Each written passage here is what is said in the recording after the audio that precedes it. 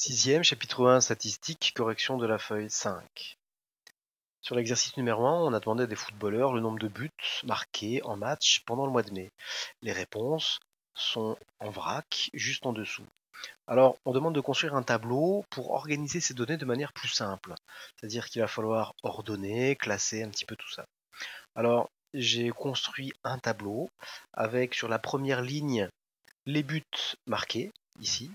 J'ai sur la deuxième ligne marqué les effectifs.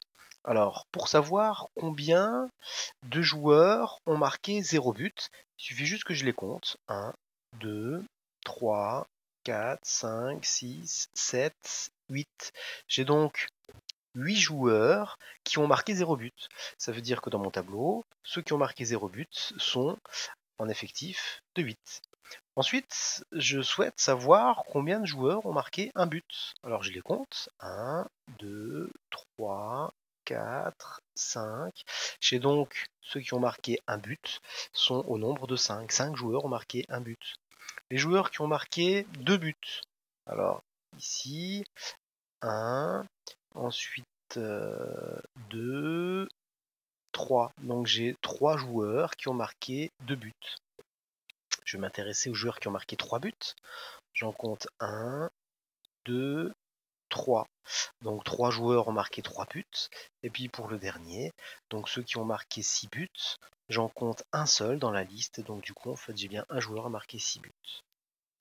Ensuite, je me retrouve avec un autre contexte. On a demandé à des élèves de 6e le nombre de livres que contient leur sac. Les réponses sont notées en vrac. Je propose un tableau avec sur la première ligne nombre de livres dans le sac, donc et puis les effectifs. Alors les élèves qui n'ont pas de livres dans le sac, j'en ai compté 12. Donc il suffit juste de euh, les compter. 1, 2, 3, 4, 5, 6, 7, 8, 9, 10, 11 et 12. De la même manière, les élèves qui ont répondu j'ai un livre dans le sac sont au nombre de 8. Et les élèves qui ont répondu j'ai deux livres dans le sac sont au nombre de 4. C'est une manière de présenter les résultats. Pour l'exercice numéro 3, ce qui est un peu plus compliqué, c'est que, euh, alors, on a demandé à des élèves de 6e le nombre de minutes qu'ils passent dans les transports pour venir au collège. Les réponses sont notées, sauf que on ne peut pas faire comme les deux autres exercices parce qu'il n'y a pas deux valeurs qui sont identiques. Alors l'idée, ce qu'on peut faire, c'est on peut faire des regroupements. Donc je propose un tableau avec le temps dans les transports entre 0 et 15 minutes, puis ensuite entre 16 et 30 minutes, puis ensuite plus de 30 minutes. Alors, ceux qui ont un temps de transport entre 0 et 15 minutes, il suffit que je les compte. Entre 0 et 15, ben, j'ai celui-ci, ça m'en fait 1. J'ai celui-ci, ça m'en fait 2. J'ai celui-ci, ça m'en fait 3. Ensuite, entre 0 et 15, ben, je prends également celui-ci, ça m'en fait 4.